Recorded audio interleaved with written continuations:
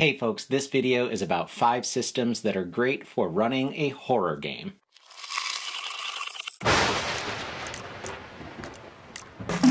I'm going to start off by suggesting Bluebeard's Bride. This is a uh, feminist horror game, and uh, it is based on the legend of Bluebeard's Bride, where uh, he gets married and tells the bride, uh, You can go anywhere in my house, just don't go in this one room.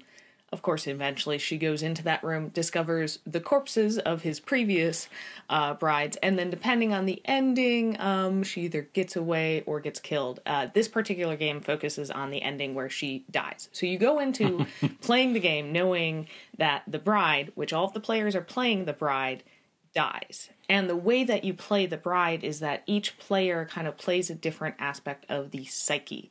Uh, oh. Yeah, it uses um, a rule set that's very much based in the Powered by the Apocalypse. Mm. Um, one interesting thing about the the uh, game mechanics is kind of no what matter what you do. Mm it's not going to go well. Even if you succeed, there are going to be consequences for your success. And I will say this is a game that uh, might not be for everybody mm. because it really does focus on systematic social as well as physical violence towards women. Mm. Um, it does utilize an X card as part of the rules, um, so there is that safety mechanic there. But it's a game that is much more actually the horror is for the players because you know what's coming and you kind of are aware of what's happening to the character a lot more than the character is even aware. And the reason it really works um, and really plays into horror is that idea of like when you're watching a scary movie, oftentimes you as the audience member are aware of what the bad thing is or what's coming. Like we know Michael Myers is going to pop up or we know Chucky is going to kill the babysitter. Yeah. Um but the the character in that story is not aware. So it it plays into that aspect. Um, and especially, I think if you enjoyed the Invisible Man reboot, mm, mm. this is going to be one for you because, kind of similarly, like yeah, as an audience member, you know the invisible man is somewhere. Uh. You don't necessarily know where, you don't necessarily know when, um, and you get that as a player because you know no matter what room you're going into, there's going to be some kind of terror there, but you just don't know exactly what it's going to be and oh, whether the cool. um, uh, staff of the house are going to come to your aid or make things worse. Oh, cool. Bluebeard's Bride is really a one shot. Mm. Um, there is some replayability uh, because, you know, diff- if you have a slightly different group or people play different um, aspects of the psyche, uh, as well as you might run into different rooms. So there's going to be some variation in it. Um, but especially once you've played as the groundskeeper, I don't think you can really go back to playing as the, the player mm. because that element of uncertainty is uh, lost once you've read through the rules of the groundskeeper. So just keep that in mind. And hey, if you're new here, don't forget to hit subscribe because we make videos here every week about tabletop RPGs and our other geeky interests. All right, let's get back to the scary stuff. The game that I want to talk about for horror is Tales from the Loop. And I think it's a great game if you really like sort of adolescent horror. A mm. lot of mm. the like 80s slashers that dealt with um, teenagers and tweenagers, or if you really liked the movie It, either like the classic or the remake of it, I think it works really well for that. There's just enough of nostalgia factor and the fact that even though the game has alternate future reality tech, it's set in the 80s, and so mm-hmm. there's communications limitations oh, that you nice. get to put in because so much of horror is about miscommunications and the unknown. Mm-hmm. And it's a lot easier when you can't just Google something real quick on your cell phone. Um, and so I really like it for that. I also like it because the mechanics system is rolling d6s, and you you're not doing a lot of math. You're just looking for a success, and so then it's easy to know. Okay, we succeeded in this, and you usually only need one success to move forward. It streamlines the mechanics of the system. And so it, it streamlines the mechanics of the the horror. And i think that some other systems that are out there um, they get bogged down in the math and counting this and adding that. And for me that takes away from um, scary moments jump scares reacting in a way that maybe doesn't make tactical sense but it makes sense for a scared 12 year old um, and so I, I like that D6 just looking for the success that's there. Um, plus, it's really great to sort of craft those scary stories that scared us as kids um, and, and put those in there because you get to sort of relive that childhood uh, fantasy of those uh, what goes bump in the night or out in the dark forest or the you know the the serial killer that's on the loose and your parents are out of town and you have to protect yourself. So yeah tales from the loop i think works really well for horror. And do you think it works well um, either or both as a one shot or a campaign?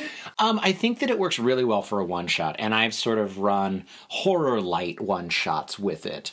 Um, but I think that you could absolutely craft it as an ongoing, maybe a short campaign, and it still and it still works really well because it's just that ongoing story of we don't understand it and it's out to get us, and we're kind of in a hopeless situation, doing the best we can against impossible forces. And I think that that's at the heart a lot of horror movies and books and things like that. Okay, so if you are a fan of A Quiet Place, 10 Oh, yeah. Cloverfield Lane, 28 Days Later, that kind of post apocalyptic horror, I think you're really going to like 10 Candles. Mm. Premise is that you are playing, you know, 10 days after the event has happened. The world has Okay. been plunged into darkness and they, them, um, are out to get you. And you're similar to Bluebeard's Bride, you are playing the last days, hours of your characters' lives. And the cool mechanic with this is it's played, um, you're supposed to play it in a dark room with only the light of 10 tea, uh, tea light candles. Oh yeah. And at the end of each scene, whether you succeed, kind of that scene, and it naturally wraps up, or you fail, um, you blow out one of the candles. Oh, so like your world is literally getting darker as things are looking darker and bleaker for your characters. Yeah, yeah, and it's it. Uh, the other mechanic that ties in with the candles really well um, is your players have a just pool of dice that you draw from, and your pool of dice is equal to the number of lit candles, Hmm. and the GM's pool is equal to the number of unlit candles. Oh, so- as you progress, it gets harder and harder and harder to succeed. succeed. Yeah. Well, and I like that this, like a lot of games that are good for horror, everybody is buying into the premise Yes. at the beginning. You know, like we're not going to make this out alive, which I think is cool because then it lets, it gives players the permission to make those horror movie mistakes that in a game where you're trying to win. Um, you, you don't want to allow yourself to make those mistakes. So I think that that's really cool. Yeah, and to kind of get you out of maybe a few of those mistakes, you can burn. Uh, you write uh, pieces of your character on like note cards or like pieces, pieces of, paper. their their Yes. their personality, yeah. not like an arm. yeah, a vice, a virtue, Yeah. um, and you can choose to burn that piece of paper to get a reroll or certain um, Oh, yeah. abilities. So it's that like, well, I can only do this once because once it's burned, it's It's gone. Plus the theatrics Yeah. of that is Yeah. really cool. Um, and this game is a one shot. Yeah. but it has a lot of replayability because the um, book gives you 25 different modules to run and you kind of uh, the players and the game masters create the characters together at the start. You also create them together at the start. Uh, the game master kind of picks which module that kind of gives it a bit of a theme um, and some direction. And then you create statements at the beginning of each scene that helps set what that scene is going to be about. So you could play it with the same group, even running the same um, module, and have a very different game each time. That's cool. A big thanks to all of our patrons, but especially to Alicia. If you like what we do and you want to have a direct hand in helping us make these videos, then head over to Patreon and check out the perks of being a patron. All right, back to the video. A system that I really like for horror is World of Darkness, um, the New World of Darkness, or whatever version it is we're looking at. Uh, but the New World of Darkness, and specifically the Hunter expansion or the Hunter version of New World of Darkness. And I really like it because this game does such a fantastic job of balancing the, the mechanics of a game that works for horror, because again, it's um, just looking for successes, not doing a bunch of math balancing those mechanics and then the books the the core rule book and the hunter book set the feel and the tone so incredibly well. It's sort of our world but through a mirror darkly. Um, everything is more dangerous a little less trusting um, plus there's real monsters that are out there. Um, and while you're playing as when you create your character uh, and character creation is quite a lot more streamlined than a lot of other uh, more RPG uh, action and tactical games that are out there. But when you create your character, I mean, you're really just a person, at least in, in the Hunter version of it.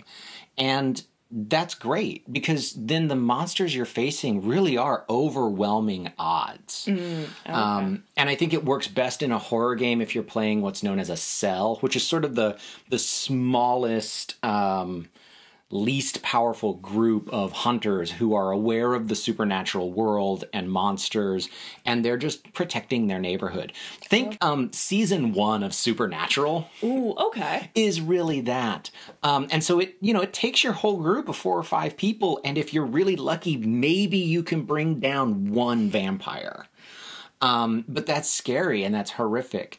I also like it because there are um, additions and there's other rules where the monsters can go from being like a simple, dangerous home intruder to the uber villainous um, Jason Voorhees. Okay. You know, or just a serial killer that is a normal person but super creepy, like someone from Hannibal uh, and take them all the way into like the sort of supernatural Jack the Ripper, who seems to appear and disappear and escape from a locked room. So for the players, it can be like, oh, we think that it's Mm-hmm. just a serial killer, but then that horror of like, wait, this isn't. This isn't a normal Yeah. person. What's going on? And the game builds itself really well for those strange, creepy little things. A lot how you talk about in How to Build Suspense, oh. where something's not quite right here. And by giving your players the book to read through and having everybody buy in, because that's so important with all of these mm-hmm. horror games, um, buying into that this world just isn't quite right. So yeah, New World of Darkness, especially Hunter, is I think really good for. It can stay pretty purely horror, or you can take it into action horror if you want to. And Hunter is you know for an ongoing campaign. You can certainly have little modules of that campaign as your Hunter cell goes out, uh, but it is something that you can have a long running campaign and while your characters get better I don't think they're getting quite more powerful, so you have that power level creep that turns it into just pure action. and we're going to wrap it up with Dread. Uh, Yeah. This is a game that you can play kind of any kind of horror. Mm-hmm. It works well for classic horror. It works well for like um, Cthulhu, Or uh, dystopian, dystopian whatever. space. Yeah. Um, and the really cool mechanic with this is you play using a Jenga tower. So anytime your character wants to try something that's outside of their normal wheelhouse, because I like when you create the characters, like yeah, yeah, you were saying like it's um if you're a mechanic and you want to hotwire a car, you just do that. yeah, You're not rolling a d20 every time you think you want to try something like, you know, with Pathfinder or D&D. But if you're a mechanic trying to hot wire the car and the monster Mm-hmm. is pulling the door off, you may have to pull a tile to see if you can do it under the stress and time. And the mechanics of it is really, for the most part, I'd say 90% of the time, you're just pulling one little tile.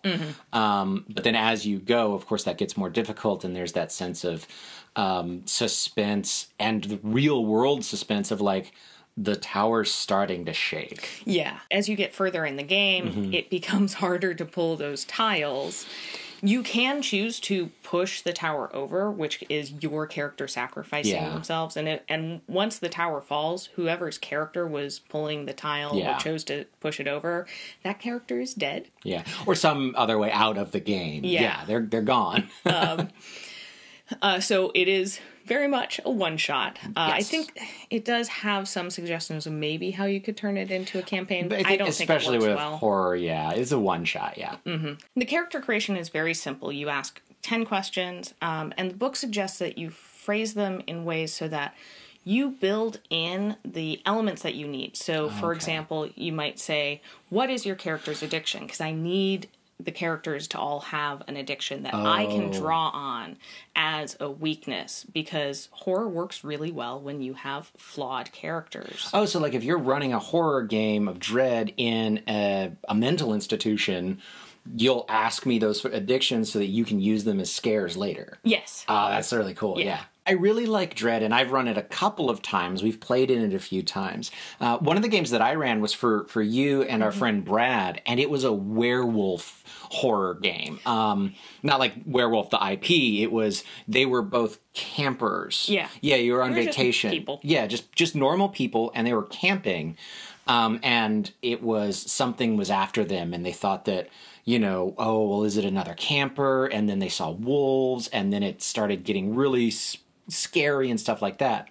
Um, but because the Jenga tower can kind of go anywhere, we actually played it outdoors um, at night. Like we started the game at nine o'clock at night Around a campfire. and built a campfire and um we didn't add any wood to it. So as the game continued, it got darker and the campfire got lower and it was getting colder and we had all of the outdoor sounds and even though we were playing in our backyard, like it started getting creepy. Yeah. And you know, and so that's a really fun thing that you can uh, it's it's mobile so you can kind of take it to a place that fits that horror theme and setting that you're playing in. So it's not just sitting around your kitchen table being like, ah, be scared.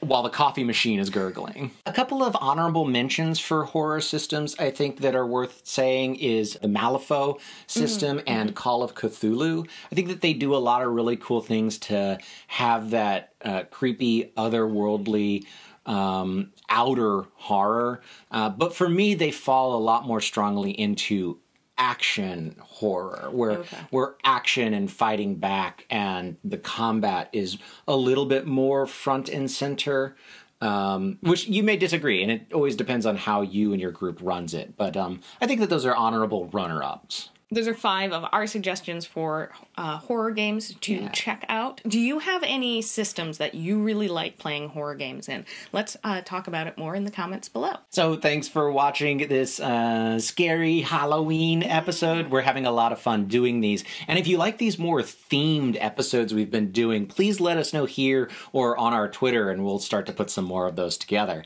But until next time, I'm Ryan. I'm Dawn. And this is Roll for Initiative. Bye. Bye.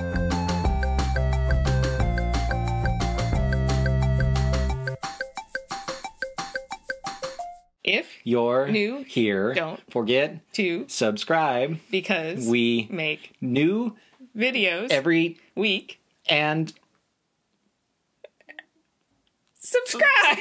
subscribe.